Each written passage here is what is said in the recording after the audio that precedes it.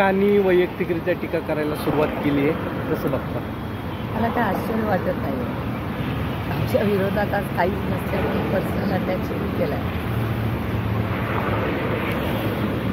वारंवार टीका होतीये. अं, भाजपची वाळू सरकली आहे का पायाखालची? तर तो त्यांचा अंतर्गत प्रश्न आहे.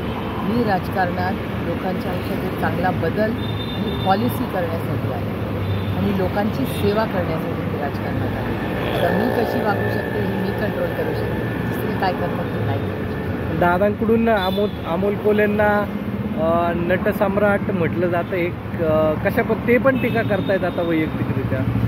दुर्दैव आहे अमोल कोल्हे एक अतिशय सुसंस्कृत लोकप्रतिनिधी आहे पार्लमेंटमध्ये त्यांचा परफॉर्मन्स चांगला आहे आणि त्यांच्या मतदारसंघात किती त्यांनी चांगलं काम केलं.